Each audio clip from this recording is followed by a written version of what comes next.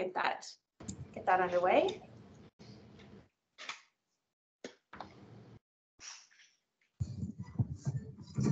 All right, wonderful. So good evening, everyone, and welcome to this community open house for the City of Guelph's Water Supply Master Plan update. Thank you so much for taking the time to participate this evening. Uh, this is an opportunity to provide you with an update on the project progress and answer your questions. My name is Alicia Evans. I'm a facilitator with AECOM and I will be your host for this evening.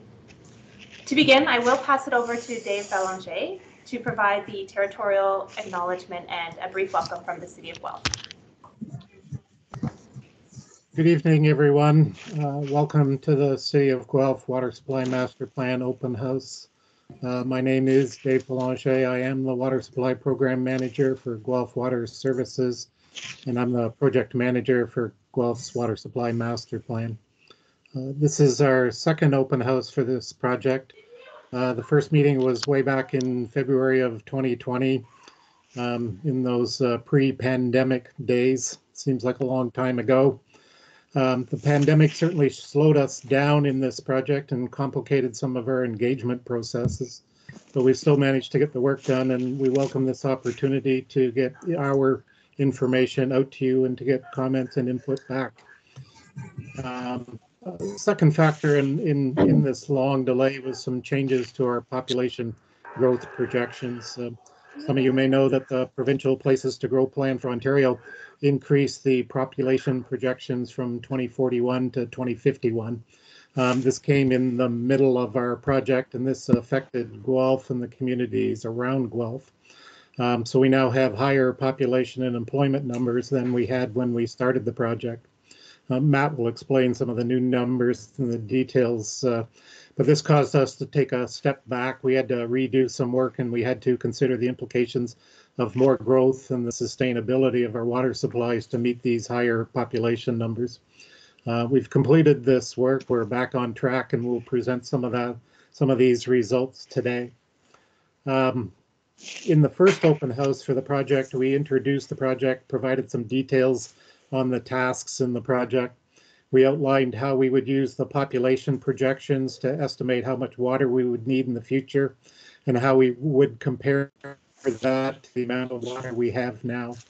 The difference between what we have now and how much we need in the future is what the water supply master plan is intended to do. It's to find more water sources to meet our needs in the future. We've identified a number of water supply alternatives. Uh, top of the list is water conservation and efficiency, and these form part of the plan that we will present to you tonight. Um, I also want to provide the territorial acknowledgement for Guelph prior to starting the, the open house. As we gather, we are reminded that Guelph is situated on treaty lands that is steeped in rich indigenous history and home to many First Nations, Inuit, and Métis people today. As a city, we have a responsibility for the stewardship of the land on which we live and work. Today, we acknowledge the Mississaugas of the Credit First Nations as the Anishinaabe peoples on whose traditional ter territory Guelph is located. Um, I also want to take this opportunity to remind everyone that tomorrow, September 30th, is National Day for Truth and Reconciliation. It's an opportunity for us to commemorate the history and tragic legacy of residential schools in Canada. In Guelph, there will be several learning and community events put on by the Guelph Museum and the Rotary Club. It's also Orange Shirt Day to honor the experiences of Indigenous people and to recognize their resilience and to affirm our commitment that every child matters. I hope you can participate in your own way tomorrow.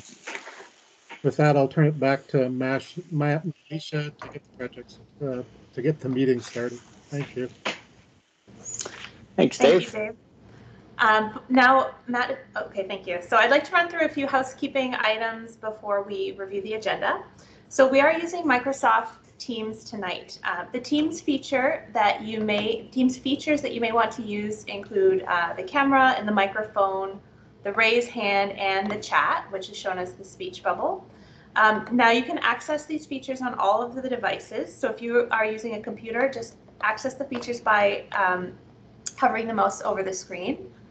If you are using a phone or tablet, you might need to tap on the screen to um, to find these, and you might need to click on the three dots Um, also, one thing, if you are using a phone or a tablet, you can change the orientation of the, the screen and zoom in as needed to see some of the slides. Now, during the presentation, I'll ask you to please uh, stay on mute until we get to the question and answer period. Once we get to the Q&A period, um, please use the raise hand feature to speak. Now, we know that technology uh, can be a challenge at times, so we appreciate your patience with us if anything happens. Um, and if you are having any issues yourself, uh, please also free, feel free to use the Q&A box to ask for help. Tracy will be monitoring this throughout and will do her best to help you out. Finally, this webinar is being recorded. Following the meeting, the recording and a feedback survey form will be posted on the Water Supply Master Plan uh, page on haveyoursay.guelph.ca. You can also reach out by phone or email after the presentation to ask your questions. And uh, we will provide you with all of this information again at the end of the session. Next slide, please. Now, tonight's agenda will unfold in two parts. So during the first part of the evening, we will hear from the project team through a presentation. And following the presentation, we will then address your questions and um, hear your comments. Please feel free to ask questions throughout the meeting through the chat box but we will hold off on responding to, to them until after the presentation. And this meeting is scheduled to go until 8.30.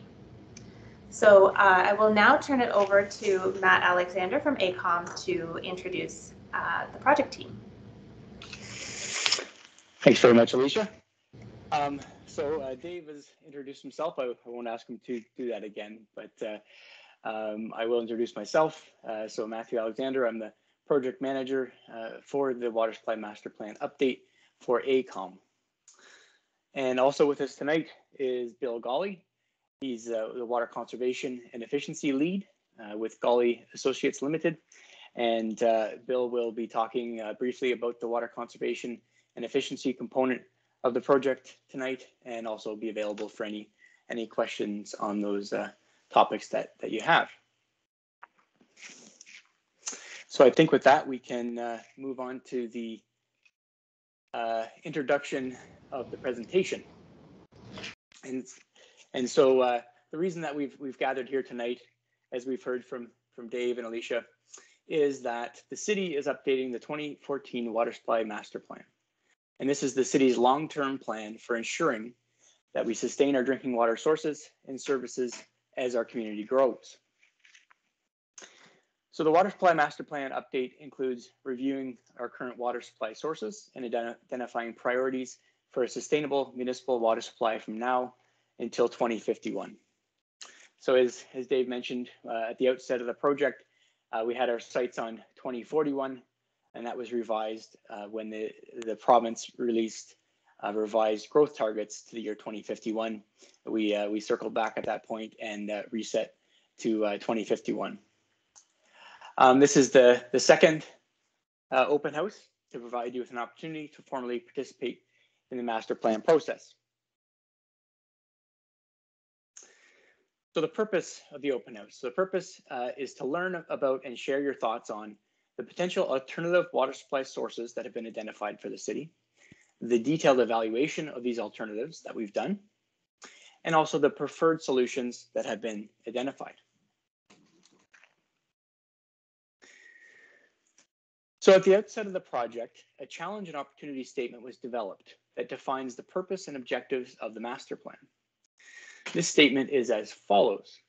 The City of Guelph is committed to managing population growth as it continues to develop strategies for ensuring adequate water supply.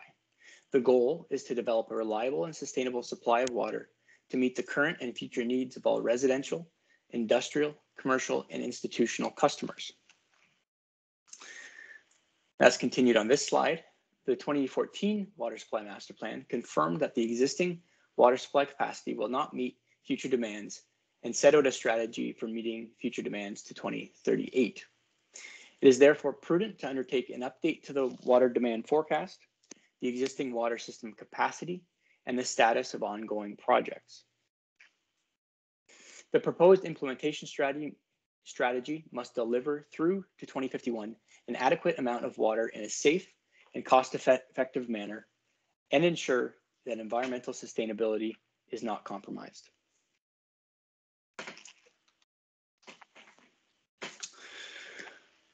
Okay, so this slide provides a, a simple representation of the municipal class environmental assessment process. So during phase one of the project, the challenges and opportunities were defined, and we met with the public to provide an introduction to the project. Since that time, we've progressed to, to phase two. And on the next slide, I'll discuss the major technical tasks that have been completed.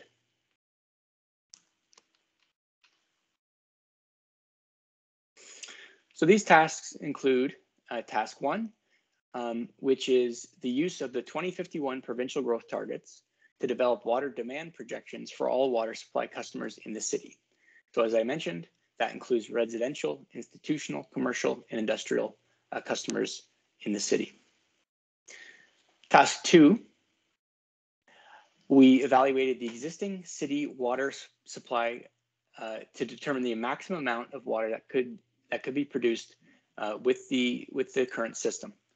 This result was compared to the 2051 water demand projection to determine how much more water is needed. Then for tax, task three, a list of water supply alternatives that could provide the additional water was developed and an assessment was conducted to evaluate these alternatives. Finally, task four is the update of the master plan document, including the implementation plan. And this task is ongoing. So um, above the task list here, we've noted that ongoing uh, public consultation uh, went throughout these these four tasks, or I should say the three tasks. Um, and and the consultation that was completed is, is summarized on, on the next slide. I'll go through that now. so as I mentioned, this is the, the second open house and, and we, uh, we had the first open house in February 2020, uh, just prior to the pandemic. So we were able to, to meet in person for that one.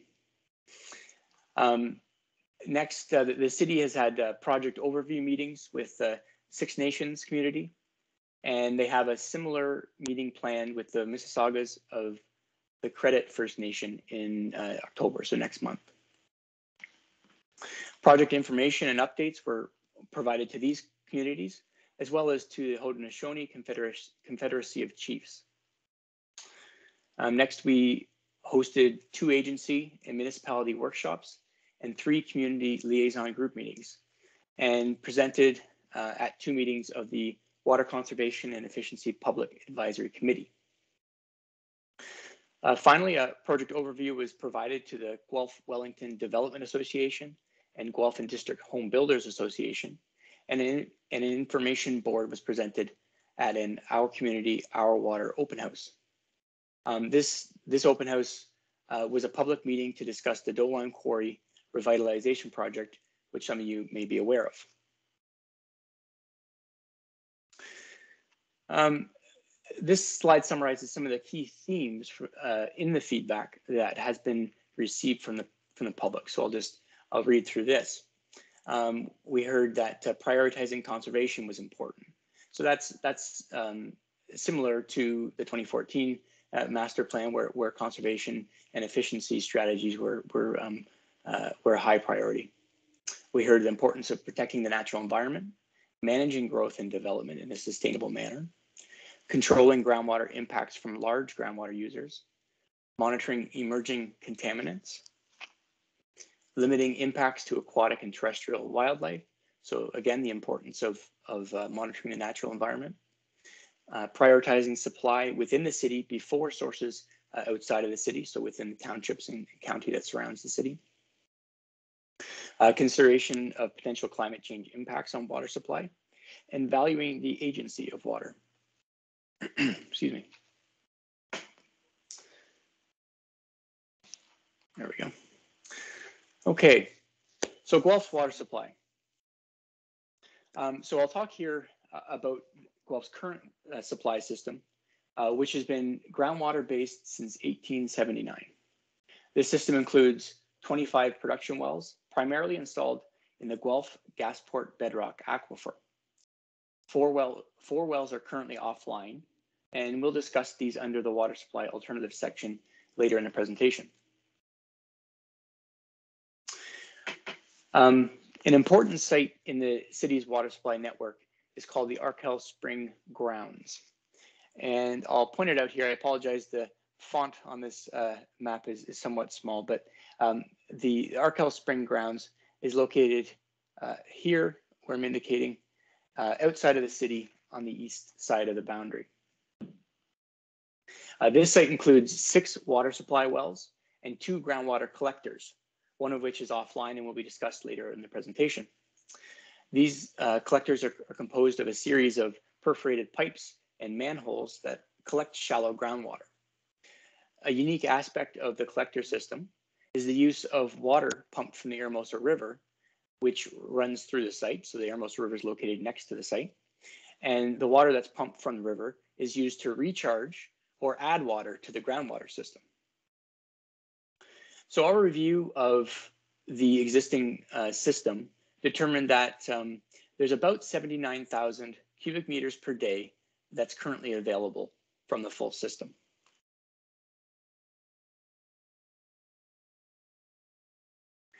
So with that water volume in mind, 79,000, we then evaluated how much water will be needed in 2051 when the target resi uh, total residential and employment population uh, is 319,000 people.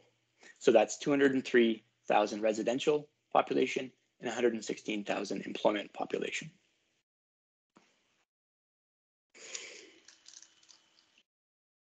There were um, three numbers to consider uh, for the future water supply demand projections.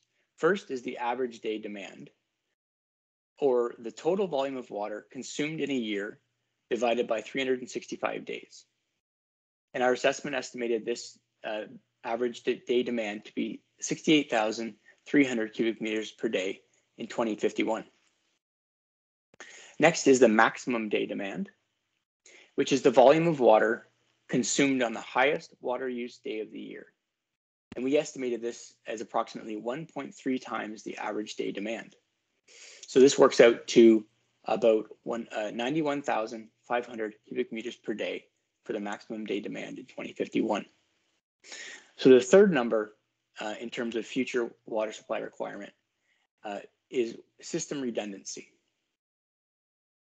Uh, or, or another term for this is security of supply.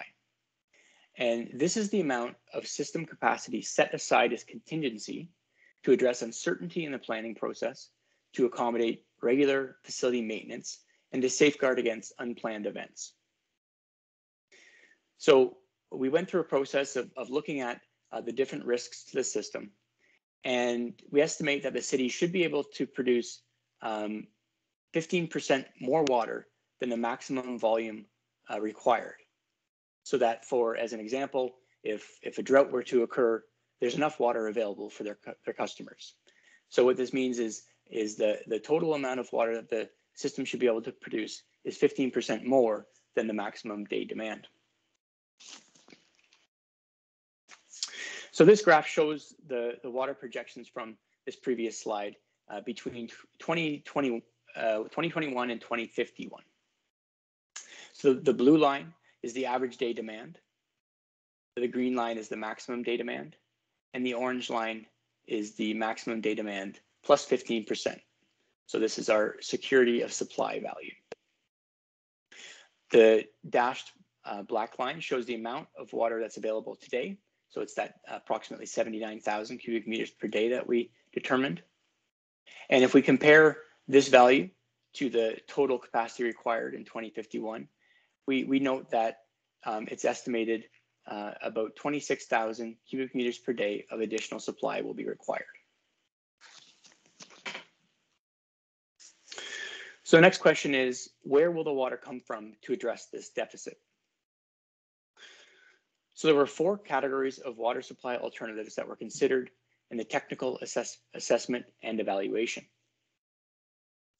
First is demand management um, efficiency and water reuse programs.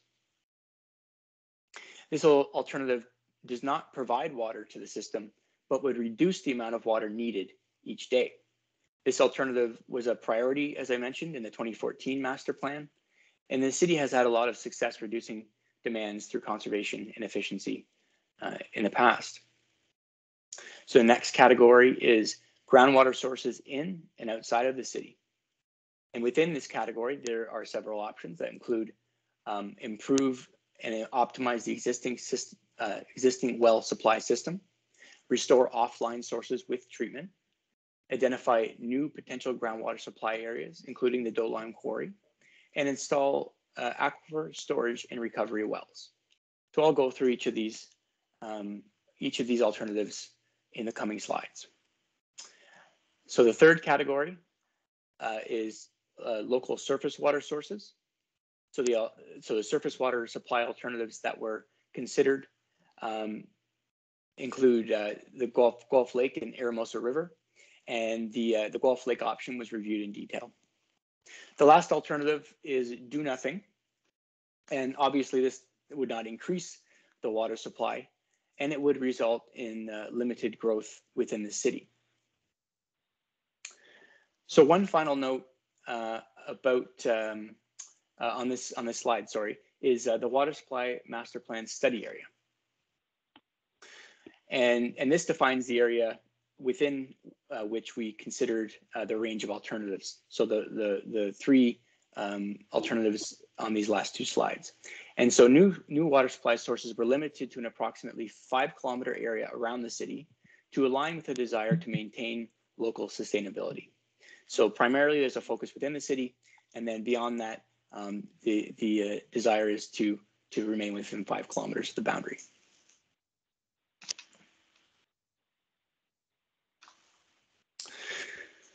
So next we have a few slides about um, the technical assessment of alternatives that was completed, starting with water conservation uh, and efficiency. And for this, I'll ask uh, Bill Gauley to walk us through this first slide. Thanks, Matt. Um, yeah, my name is Bill Gauley. I'm a professional engineer and I've uh, specialized in water efficiency in Canada and the US for the last 25 years or more. And uh, I'm going to talk about this slide. So as part of this master plan update, we developed four water demand scenarios. And they're listed on the, the slide you can see. But to be conservative, scenario number one is based on the city stopping all of its water conservation programming except for the mandatory programs such as the Ontario Low Water Response Program, but stopping all their voluntary programs for water efficiency. And it's also based on per capita demands for both residential and uh, non-residential customers remaining at their average 2015 to 2019 rates until at least 2051. So scenario number one is a, basically a do nothing scenario, and uh, it's the baseline to which the other three scenarios are going to be compared. Now, since the city is not implementing any water efficiency programs under scenario number one, there are no costs associated with scenario number one. Scenario number two is based on the city continuing its current level of water conservation programming. So that doesn't mean necessarily continuing with the same programs, but it does mean continuing with the same level of effort regarding the budgets for water efficiency and the staffing levels. So the, the programs themselves will evolve over time, but the city will continue to uh, try to reduce water demands just as they've been doing over the last many, many years. The savings projected in scenario number two were calculated based on extending the water demand trends observed between 2015 and 19 until 2051. So scenario two projects an overall reduction of 4,400 cubic meters a day by 2051, or a 6.5 reduction versus scenario one demands with a cost of about 2,600 dollars per cubic meter per day savings.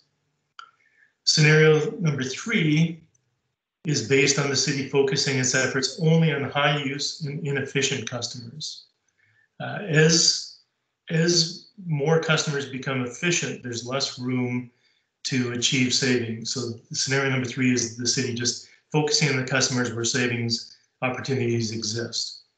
So by focusing on fewer customers than in scenario number two, the city can lower its program costs, but it will also lower its total water savings than in scenario number two.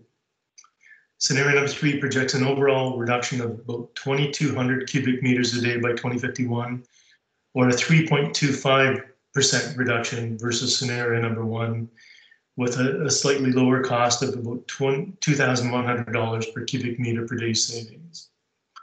Scenario number four is the most aggressive scenario, but it also has the highest savings. And of course, it also has the highest costs. It is based on the city continuing its current level of water conservation programming, which is basically scenario number two, but also we're going to add implementing water reuse programming. Now, while water reuse programs are not currently widely implemented in North America, there are there are programs, but they're, they're not widely implemented. Improvements in technologies, a decrease in the costs associated with water reuse, an increase in customer acceptance, and or a severe shortage of fresh water supply could all significantly increase the potential water savings related to water reuse. But we're being conservative here. And scenario number four projects an overall reduction of about 4,900 cubic meters a day by 2051, or a 7.3% reduction versus scenario one, with a cost of about $3,000 per cubic meter per day of savings. And now I'll pass it back to Matt. Thanks very much, Bill. So I'll move from there onto the groundwater, groundwater alternatives. and under the groundwater alternatives, there were five categories of groundwater sources evaluated. The first are the existing offline sources, and these are shown in the map here in red. Uh, these include three water supply wells that require water quality treatment to return to service, and one groundwater collector system on the Arkell Spring ground site that must be reconstructed. The next category are six existing test wells shown in green on the map. And they're located both within the city and on city owned land uh, to the east of the city.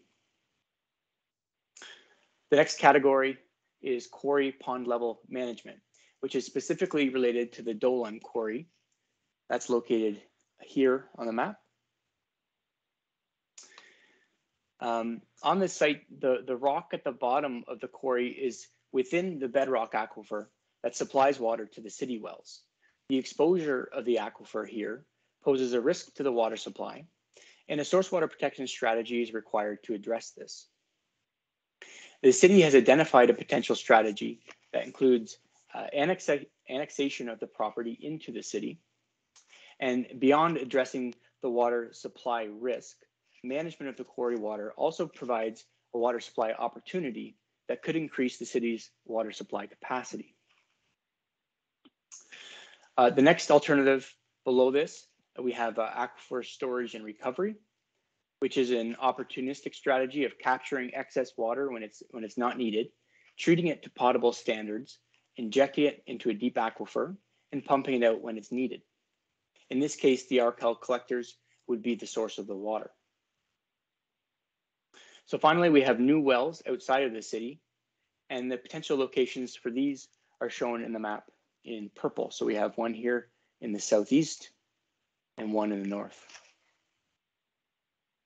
Uh, at this at this stage, these are hypothetical locations that are selected based on unlimited field information and some groundwater flow modeling work that we completed.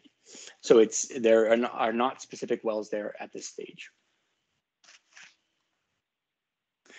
So all of the potential sources within these ca five categories were evaluated using a groundwater flow model that assessed the amount of water available and the potential environmental impacts associated with each source. Uh, next are the surface water uh, alternatives. Pardon me. Um, and this alternative considered two water taking scenarios for Guelph Lake. The first includes construction of a water treatment plant to treat and distribute water to the city. The second considers capturing additional water uh, when lake levels are high in the fall, winter, and spring seasons. Uh, similar to the Arkell collector alternative, this excess water would be treated and stored underground and removed when needed. The surface water alternatives were evaluated using a, a, a modeling assessment that was completed by the Grand River Conserva Conservation Authority, and they used uh, data, flow data from uh, Guelph Lake and the Speed River um, from the period 1951 to 2019. The model considers the amount of water available from the lake while maintaining downstream water levels where required to support uh, the wastewater treatment plant discharge and the ecosystem in general.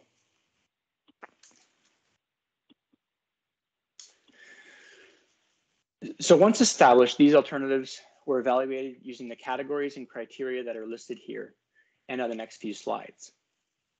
And this includes the First Nations, Métis, and Inuit peoples category. And the criteria here is effect on Indigenous values, cultural, and traditional use. Under built environment, the criteria are the potential effect on existing and planned structures and pot potential effects on private and municipal wells. Under natural environment, we considered potential effects to the natural environment, uh, to water resources, and impacts to natural heritage features. Also, we considered environmental management planning considerations. Under social and cultural environment, uh, we looked at land use impacts, short-term construction impacts, potential impacts from operations, cultural, heritage, and archaeological impacts, ability to meet growth targets, and public acceptance. Under the economic and financial considerations category, the criteria were estimated capital costs, estimated operations and maintenance costs, and energy, uh, including energy consumption. Under legal and jurisdictional considerations, uh, we considered the lo uh, location of facilities relative to the city boundaries, land requirements, and implementation of source protection policies. Under technological considerations, we considered the ability to implement and meet max demand, the constructability of the alternative, water treatment requirements, including current and future, the expandability of the facility, the ability to respond to changes in regulations, the ability to utilize existing infrastructure, and approval requirements. So the next series uh, of slides provide the results of the evaluation. So we've here we've we've simplified the long form of these tables to include the key information that was used to identify the preliminary preferred solution. And one note about the solution is that um, un unlike some environmental assessments, we don't end up with with one solution that addresses the challenge and opportunity statement. Rather, the solution is a combination of alternatives and I'll discuss the reasons for that in, in a few slides. So for the uh, conservation and efficiency alternative, um, first looking at scenario one, which is, as Bill mentioned, was our, our baseline. So this was um, uh, ceasing current programmings, uh, programs. And um, the key evaluation considerations for this scenario was that this would not achieve demand reduction. So it would be um, the, the water demands would be the same as what we've projected uh, to 2051.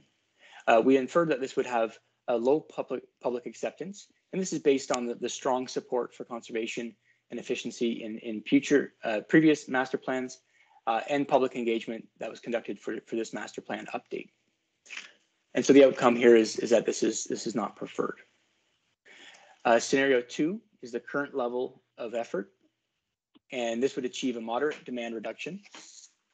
We infer that it would have high public acceptance as this would continue the current level of, of programming, which, uh, which is supported. Um, there there uh, may be minor changes to existing and, and, planned buildings, and the extent of this would depend on the specific programs that, that, that are implemented. There's low to moderate costs for this uh, alternative relative to other supply alternatives. Under scenario three, uh, this has the, the least demand reduction. Uh, we, we do infer that it would have a high public acceptance as we are still achieving demand reduction despite uh, the residents already being very efficient water users. So as Bill, as, as Bill mentioned, um, this, this scenario uh, is a focus on higher demand uh, customers after um, we, we see decline in overall um, uh, de, de, overall demand on, on, on average. So the city is becoming more uh, efficient, and so we're, we're going to switch to focus on high demand customers. Um, Similar to scenario two, uh, we have, uh, we anticipate minor changes to existing and planned buildings, again, subject to which programs are implemented. And this would have low cost relative to other supply alternatives.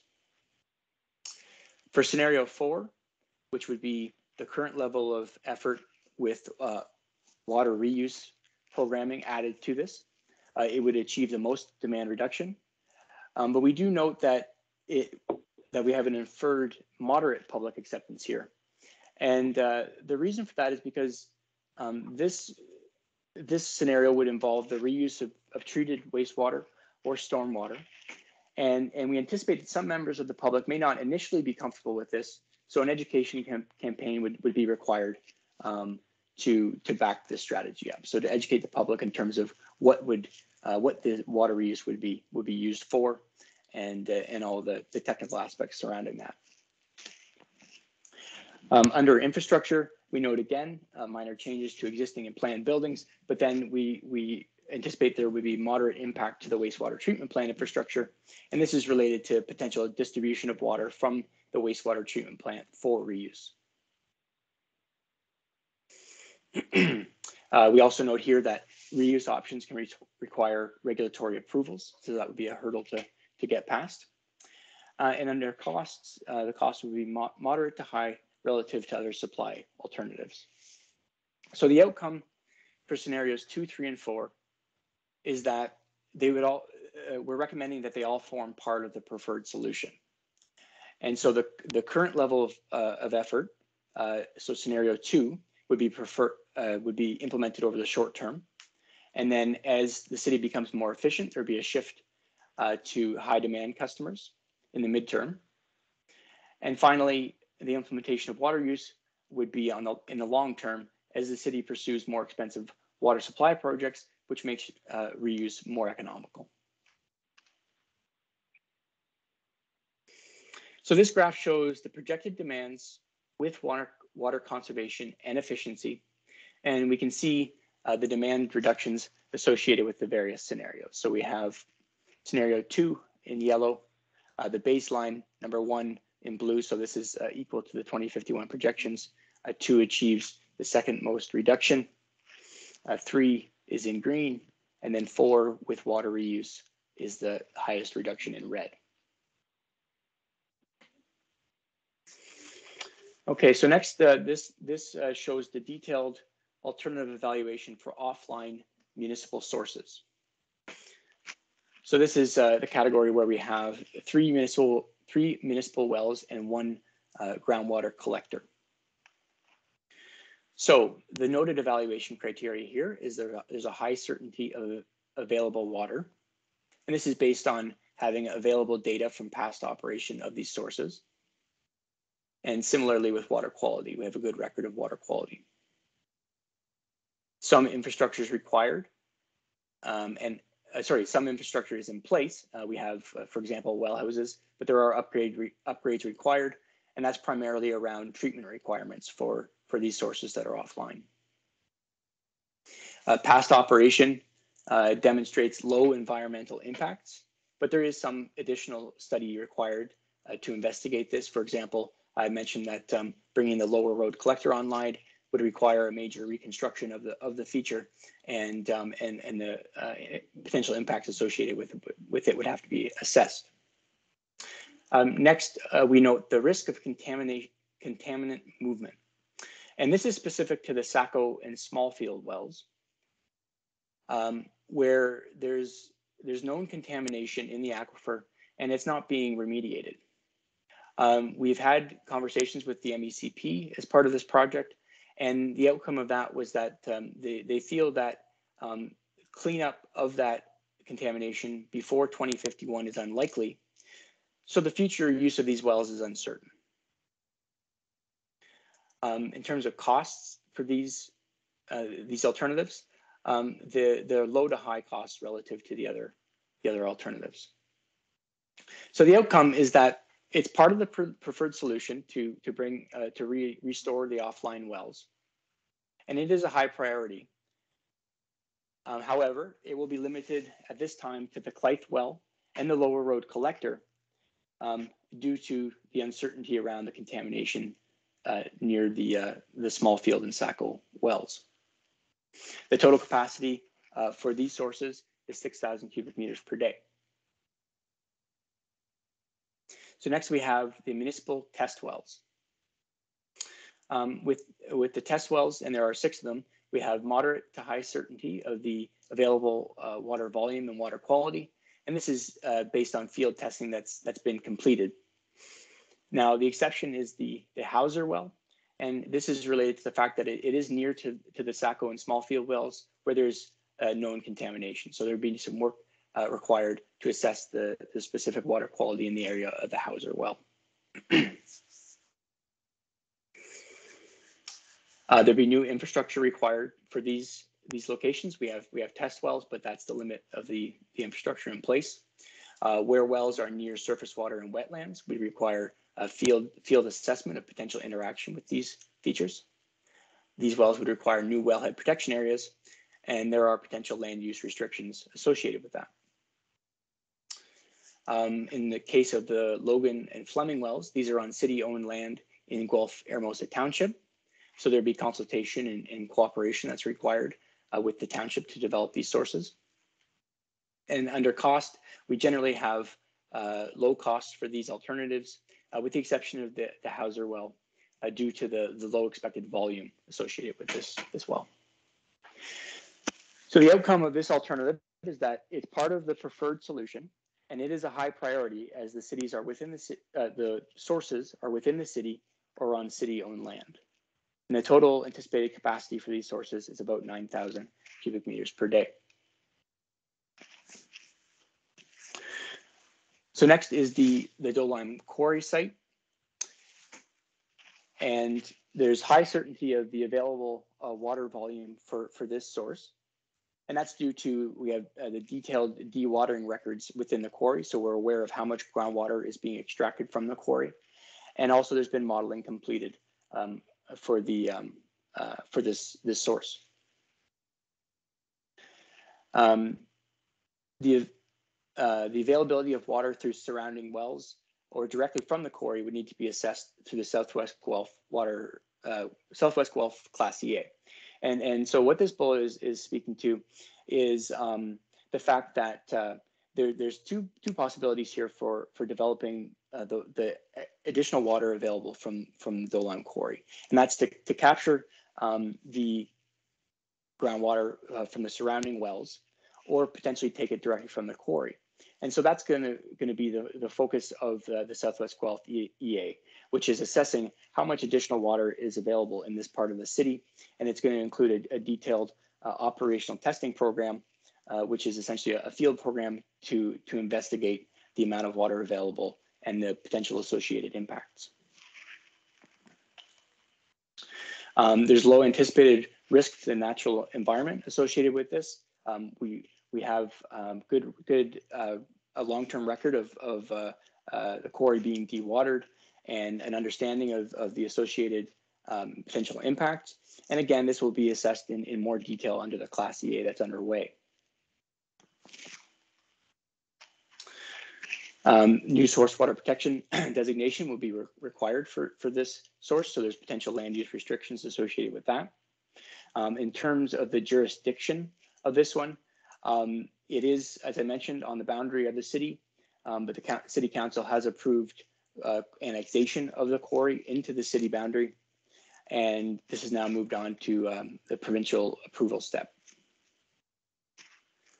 The cost um, for this alternative um, is sort of twofold. So there's, um, as I mentioned, there's there's work being done to determine the best way to to access water within this part of the city. Um, and so if this water can be developed uh, through the surrounding wells, um, this is a significantly lower cost than than uh, taking water directly from the quarry and constructing a water treatment plant to to, uh, to treat that water. So this will be refined through through the Class EA process that's underway.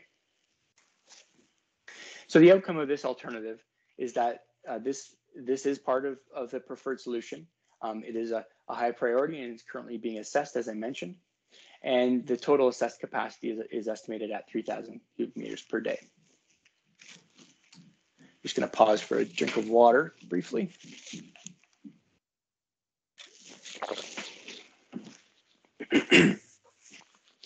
Okay, so the next alternative is the Arkell Aquifer Storage and Recovery option. And so this is an option to capture excess spring flow uh, from the collectors on the Arkell site, um, treat them to potable standards, and store that water within the aquifer to later be extracted when demand is high. Now, I have noted here uh, low certainty with uh, of available water volume.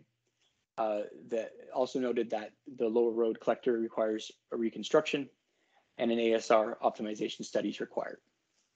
So what, what this means is, is um, based on the work that we, we did for this alternative, um, we, we looked at uh, certain scenarios for where uh, aquifer storage and recovery wells could be located within this, the city. And the recommendation coming out of that study is that um, a detailed optimization study would be required to further define this alternative and also to optimize the design of the ASR alternative. So, so there's some work to do here. Uh, next is uh, the low anticipated risk to the natural environment. So the lower road collector is, is currently uh, permitted and was operated long term. Um, but one thing to note is, is that, uh, as I said on a previous slide, that this, this, this collector would be reconstructed as, as uh, prior to the, the ASR strategy being implemented. And so the, the associated environmental impacts would, would need to be reassessed as part of that process. In terms of the ASR wells them, themselves, um, they would be um, uh, designed to, to pump a volume that's equal to the injected volume. And, um, and therefore, it's a, a, a net zero uh, taking from, from the aquifer. So you're, you're recovering the water that you're putting in. And so we, we anticipate a, a, low risk to natural environment associated with that. But again, you know, this would um, uh, depend on, on where the wells ended up being, and each one of those would have to be assessed in, individually. Um, so for this, a new infrastructure would be required, of course, for rebuilding the collector and, uh, installing ASR wells. And, and the new and those wells would require a wellhead protection area. So there's potential land use restrictions associated with that.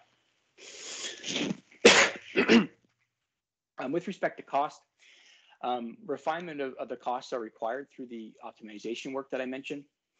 Um, the, the assessed costs are high uh, relative to the to the modeled supply capacity, but we do we do feel that through optimization there'd be an ability to uh, develop additional capacity with with this uh, alternative and therefore uh, modify the those costs. so the outcome of this alternative is that it's part of the preferred solution, um, but it is uh, more of a moderate priority as, as there are uh, significant work that's that's required to as part of project implementation for this one. Um, and the noted capacity for these sources is is 1,200 cubic meters per day, but we do anticipate that this could be increased through an optimization process. Okay, so finally under groundwater, uh, we have new wells outside of the city. So I mentioned uh, two locations, one north of the city and one in the southeast. So under key evaluation considerations, um, there's there's moderate certainty of available water volume, um, and and that's due to the fact that there is somewhat limited site-specific information. So we don't have actual test wells here, so there there's a significant field work required to to to assess the resource. Uh, where uh, if if wells are situated uh, near surface water and wetlands, this will require field assessment to um, evaluate the potential interaction with the surface water. Of course, new infrastructure would be required. As I mentioned, there, there are, are not any test wells in these locations now. And uh, with wells being established in these areas, new well, wellhead protection areas would be required, and that comes with potential land use restrictions. so um, in terms of jurisdiction, as I mentioned, these are outside of the city. So uh, within both uh, Guelph, Eramosa, and Puslinch townships. And so there's a, a collaboration and coordination required with the, the, townships to as part of developing these alternatives. The estimated associated costs are moderate to high relative to the other supply capacities, uh, apply uh, supply alternatives, I should say. So the outcome of this alternative is that it's part of the preferred solution, but it is a lower priority as the sources are located outside of the city. The total evaluated capacity for these two sources uh, is, a, is combined uh, 4,500 cubic meters per day. So this graph uh, has quite a bit of detail on it, but I'll, um, I'll walk you through it here. What, what it's showing is um, all of the groundwater alternatives um, added on to the existing system capacity. So we had that value of about 79,000, uh, and then all of the alternatives that I've described on the previous slides uh, added onto that value. So with all of these sources implemented, we, we see that there's sufficient capacity to about uh, 2049. Um, but that said, I've highlighted, I've highlighted some challenges associated with these sources and the likelihood that the Sacco and Smallfield wells will not be brought back online by 2051. So something to keep in mind as we look at the uh, surface water alternatives next. Okay, so with surface water, uh, first we looked at um, establishing a um, an intake at in, in, Guelph Lake and construction of a new water treatment plant uh, to treat that water and send it through distribution to the city. in terms of the keys to considerations, um, there's a high certainty of the available water volume. I mentioned the, the modeling work that uh, GRCA did for this project, um, which included long-term data records from 1951 to 2019. This would be a relatively complex system to operate relative to the, um, the, the, groundwater supply systems that are currently in place. Uh, a detailed assessment of potential impacts to both um, the natural environment and the recreational use of Guelph Lake would be required. Of course, significant new infrastructure would be re required, and an intake protection zone would have to be um, uh, uh, defined for, for Guelph Lake, and, and there's potential land use restrictions associated with that. This location is um, outside of the city. Guelph Lake's located north of the city in Guelph Eramosa Township. In terms of costs, um, there's moderate to high costs associated with this relative to the other alternatives. So the outcome is that this alternative is, is part of the preferred solution, but is a, lo a low priority alternative uh, as, as Guelph Lake is outside of the city. The total capacity um, evaluated for, for this source is estimated to be 13,000 cubic meters per day.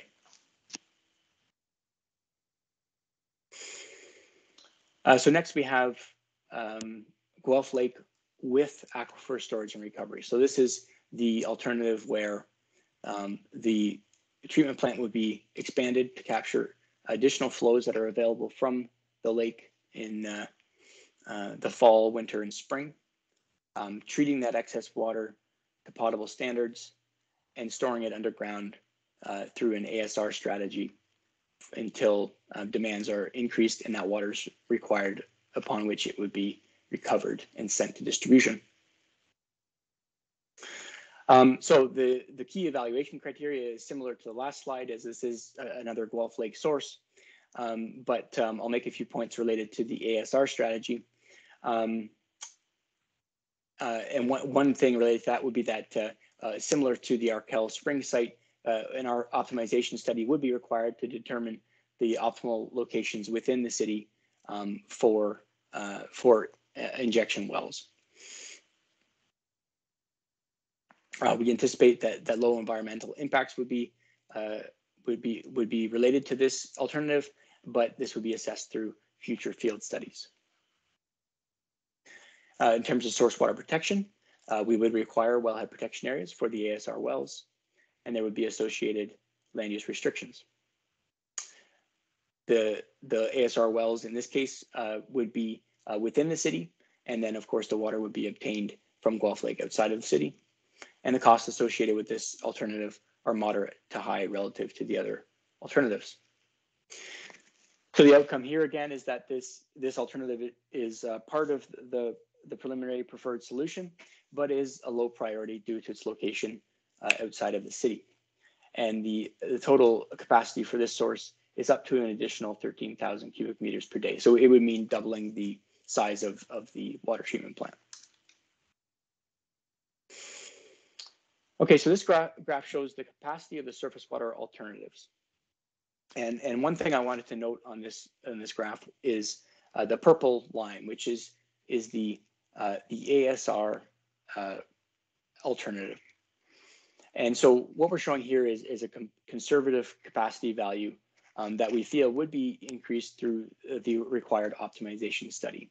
And so with uh, a 100% efficient ASR system, uh, the total capacity for just the surface water sources would be would be near the 2051 demand um, of about 105,000 cubic meters per day. So the last alternative is the limit growth or, or do nothing. Um, as noted previously, the, this alternative would not add capacity um, and does not meet the challenge and opportunity statement of the EA. Um, in terms of natural environment, it, it would limit the potential for impacts to the natural environment because essentially the um, existing system capacity would remain as, is with no additional uh, water pumping from, from the aquifer or from, from surface water. It would have a, a high impact to meeting growth targets um, because the city would not have enough water to grow. Um, there'd be mixed public acceptance anticipated. So we've noted that, um, you know, uh, that, you know, with respect to to those who who feel that the, the city should grow, that, uh, you know, it, it could be a, a negative. And then there are some folks who are happy with the size of the, the city currently or uh, don't want it to grow to the, the total planned growth um, uh, from the province in 2051. So we, we, we, feel that there, there may be some mixed um, acceptance associated with this alternative. Um, and with that limited ability uh, to grow within the city, um, it, we have noted that it could drive growth to, to the townships. So that's that's uh, related to the, the jurisdictional um, category. So overall, um, because this does not meet the uh, objective of the environmental assessment, it's not part of the preferred solution. Okay, so um, a lot of lines, a lot of color on this, this graph, um, but um, I just wanted to point out a few things. So what this is showing is all of the alternatives. So all of the groundwater and surface water alternatives as well as um, the conservation and efficiency lines all overlaid on, on top of one another. And so um, what I wanted to point out is, is that with all of the alternatives shown like this um, uh, added on to the existing, existing system capacity, we see that the, the anticipated total system capacity is beyond um, what is required for 2051 demands. However, as I mentioned earlier, we have recommended that most of these alternatives be included in the preferred solution. And, and, the reason for this is the uncertainty associated with implementing projects in the field. We, we can expect that, that some of these sources will provide more capacity than, than what's shown here on this, this graph. And some, some will provide less capacity and some may not move forward based on you know, initial field testing or, or other factors that, that come up along the way. So therefore, all the all of the projects will be pursued according to their priority. And then the status of each project will be evaluated on a regular basis when the city updates the master plan. So that's the that, that's sort of the concept of, of the overall strategy here. And this this slide uh, further um, indicates um, what we recommended here for the pr preliminary preferred solution, including a, an initial implementation timeline. So we have it broken up into the short term, medium term, and long term. And we can see that in the case of conservation and efficiency. Um, as we mentioned, there's there's three scenarios that have been brought forward to the to the preferred solution. And so in the short term, that would be continuing with the current level of effort. In the medium in the medium term, um, focusing on uh, high demand customers as the city becomes more efficient. And then long term, um, implementing water reuse. Um, the groundwater sources that, that are shown in this, this um, implementation timeline uh, are, priori are prioritized, excuse me, um, according to whether they're within the city or on city-owned land or outside of the city. So we have um, the sources that are, are within the city or on city-owned land uh, in the short term and medium term, and then sources uh, like, for example, the Guelph North and Guelph Southeast well uh, later in the timeline in that 20 to 30 year period. Uh, and then surface water similarly uh, is, is in that, that long-term timeline. Um, finally, I wanted to point out, uh, I've talked a bit about uh, some of the concerns uh, and, issues around the Smallfield and Sacco wells, which are off offline due to contamination within the aquifer.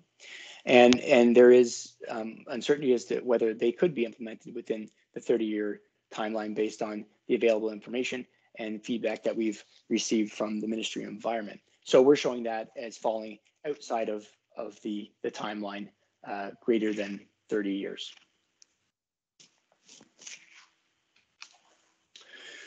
So that brings me to the, the last slide for tonight.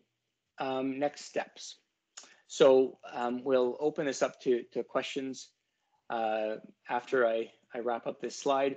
Um, we've we've uh, we've received a, a, lot of public feedback along the way, hoping to hear some more tonight.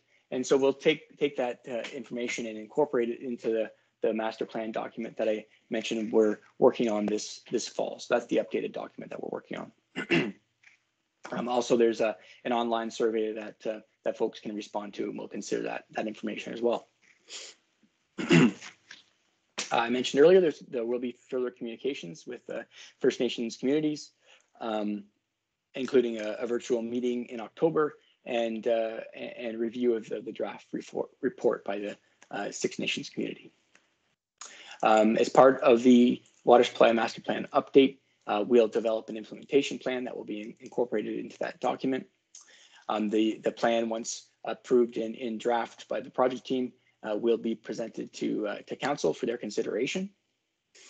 Um, the master plan document will then be um, posted for, uh, for public review and comment.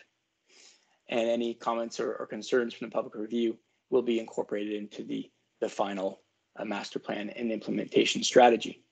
Finally, the city will move forward with the, the preferred strategy.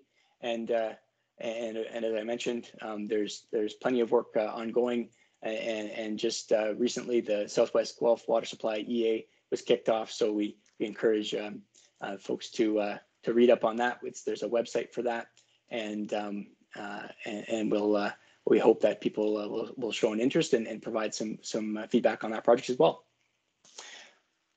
So that takes us to the question and answer segment.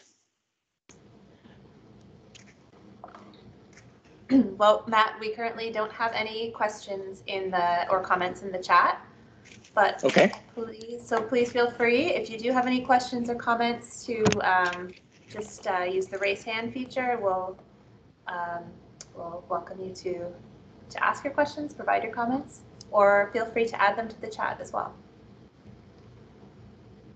All right, it looks like Hugh has a question or a comment. So Hugh, go ahead. The Clythe well is located right beside Clythe Creek, and Clythe Creek has uh, already a critical low flow uh, difficulty that affects the fishery. There has, to my knowledge, been no uh, assessment of uh, continued pumping from the Clythe well uh, having an effect on the Clythe Creek base flow. Is there a plan to do an actual on-site investigation of the impact of Clythe well pumping on Clythe Creek before it's introduced into the supplies system? Yeah, so thanks for the question, Hugh. Um, so there is there is a, a, plan to do additional testing associated with uh, the Clythe well, and it, it is a requirement of the, the current permit to take water. Um, uh, Dave, I don't know if you want to comment on any of the specifics of that, um, but I know there is planned testing for that location. Yeah, Matt, I, I was just going to say the same thing. It is an existing well um, that was previously online um, and uh, you know has has had a permit since I believe the the mid the mid 80s. Um, um, that and and the project itself did go through a class environmental assessment and we are proceeding with the uh, um, construction of the treatment system for that well. Um, the permit to take water does require some uh, monitoring both of domestic wells and the impact on the creek as part of the permit to take water and the monitoring program associated with the permit. Great, thank you.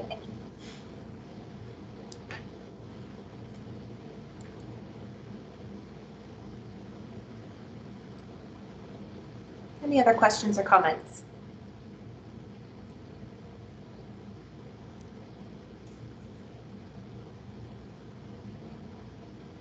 Yes, Hugh, go ahead.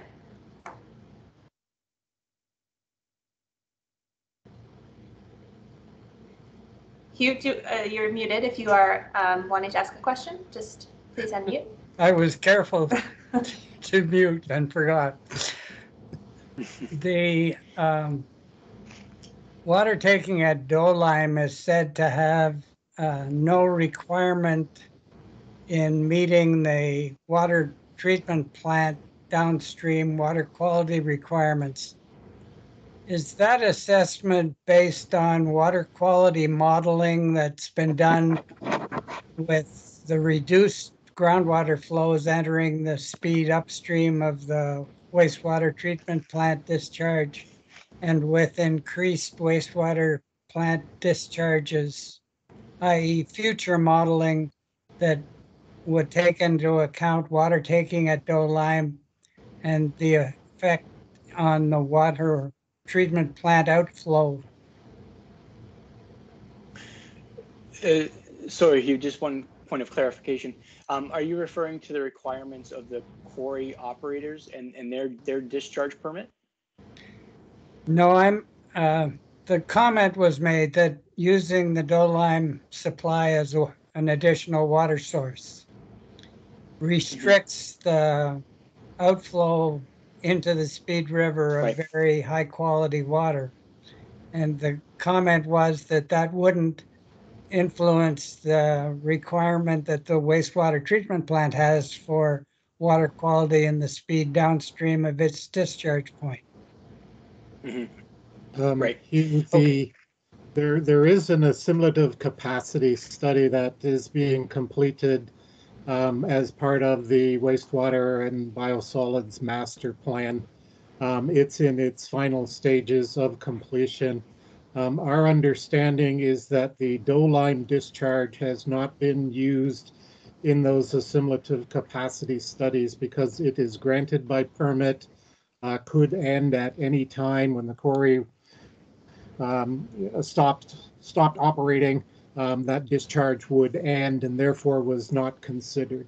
Uh, the- It's my understanding the assimilative capacity takes into consideration the upstream water quality, and that's what's used to determine uh, the assimilative capacity from the wastewater, not the downstream. You know, it is recognized that while it was occurring, it does have a benefit, you know, because it is uh, perhaps colder than, you know, it is a groundwater source and does have some benefit. Uh, but it was never considered because it wasn't considered to be a long-term permanent discharge into the river.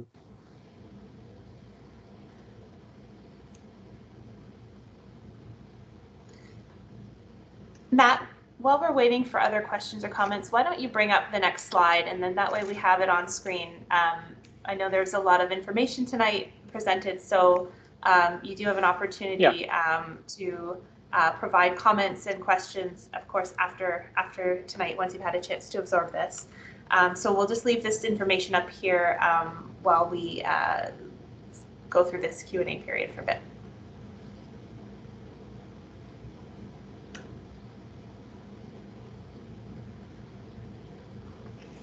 Any other questions or comments from, from anyone?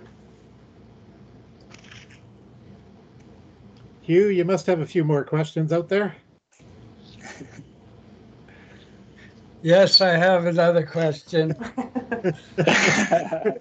on, Darren, I, now I've invited questions. In 2001, the average daily pumping was 55,616 meters cubed per day.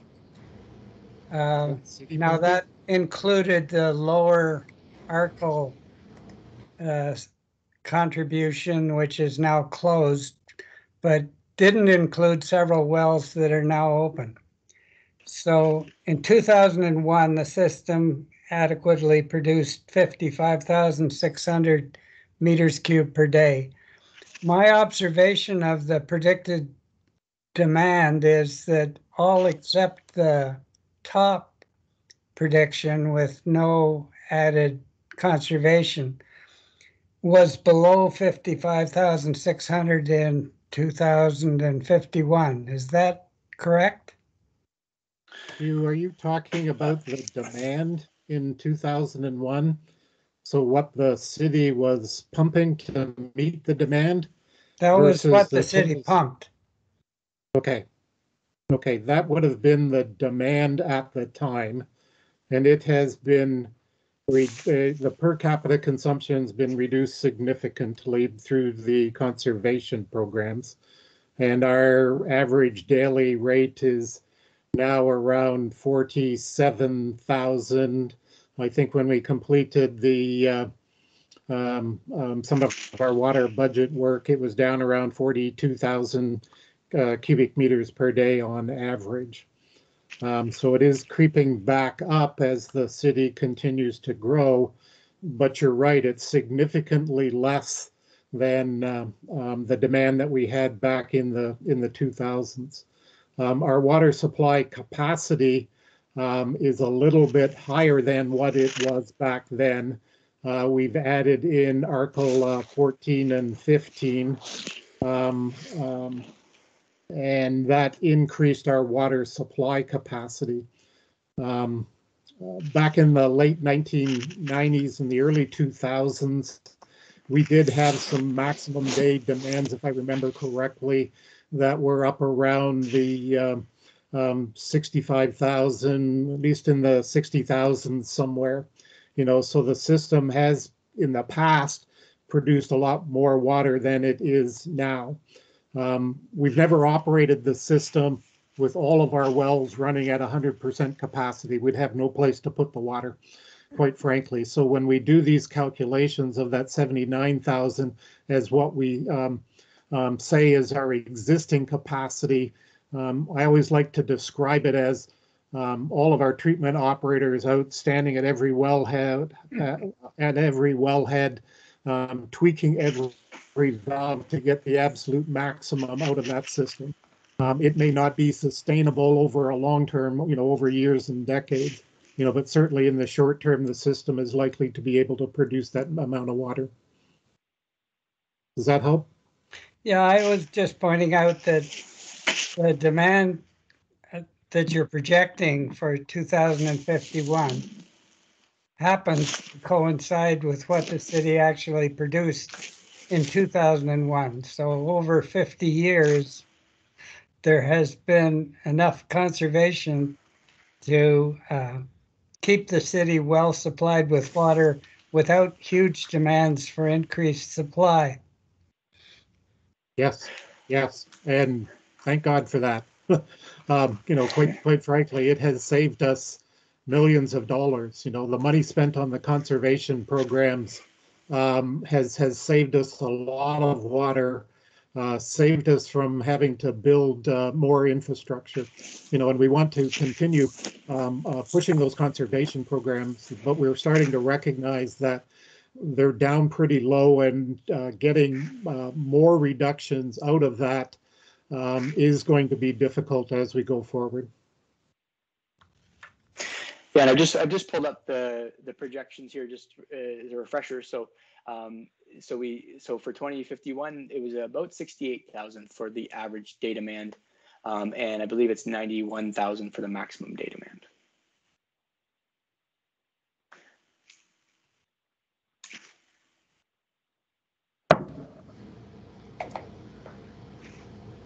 Okay, Matt, do you mind going back to, um, to the, uh, contact slide? Thank you. Is this the right one? Yeah, that's right. Yep. All right.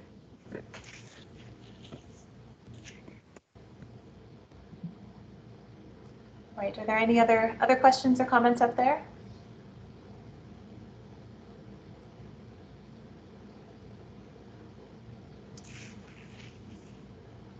All right, I'm not hearing anything. Um, so Matt and Dave, um, I'm not, uh, I think maybe this is the time to, to wrap up. If there's no further questions or comments, um, I will just walk you through the, the options. So um, as I mentioned before, um, there uh, obviously you can reach out after after this meeting if you need some time to di- digest the the information.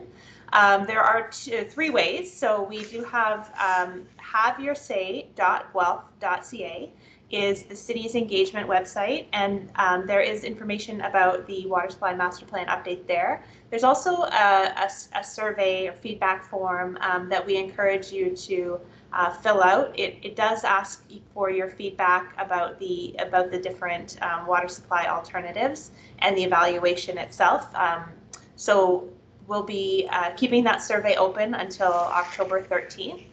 Uh, you can also um, submit questions through that platform to the project team, and, and they will be uh, responded to. Uh, the water, the, the guelph.ca slash WSMP is the project website where there will be um, updates to uh, the, the project as we go. And uh, you can also join the mailing list for, um, for information, uh, for more information as the project progresses to its completion. Of course, you can also contact Dave or Matt uh, by email or phone. Their contact information is is listed on the, the, the presentation that you are hopefully seeing. Um, the it's also on the notice, so uh, you probably would have seen that, and that's how you register for this meeting. So please do feel free to reach out to uh, Dave or Matt with any specific questions or comments you might have. Um, I think I think those are all the ways that that you can participate after tonight. Um, yes, Alicia? yes. Go ahead, Dave. Will this, you've recorded this presentation, you said this would be posted and it'll also be available with the, with the, the slides. Um, so if there are other people out there that want to see it, it will be available. If you want to review this again and, uh, have another look, and if you think of more questions, by all means, send them along. Yes, um, please do. And I think that uh, it might take a day or two for this uh, uh, recording to get processed. So uh, please check back again uh, over the weekend or early next week for that. And if you go into the, the chat box, uh, Tracy has posted a link to the Have Your uh, Say Guelph.ca, uh, the page for the Water Supply Master Plan. So um, you can click on that link right away if you want to be taken to the uh, survey. From here, it's up and ready to go. So uh, thank you very much for attending this evening. Uh, Dave or Matt, do you have any any final words before we wrap up? Um, Well, I- just, thank I you very wanted- much. Oh, sorry, Matt, go ahead. We're we're duel, dueling with our thank yous here. I, I was just going to say the same same thing. Thanks Yeah. to thanks to the folks who, who were able to take time out of their evening tonight to uh, to listen to us talk about our project and, and the future of, of water supply in the city. And we appreciate any information or feedback that you can provide to us. Thank you very much. Okay. Thank you, everyone. Uh, have a wonderful Thank, evening. thank you very much. This has been really helpful. I appreciate it so much. Oh, you're welcome. Thank you. All right. Have a great evening, everyone. Good night. Uh, Bye. Bye.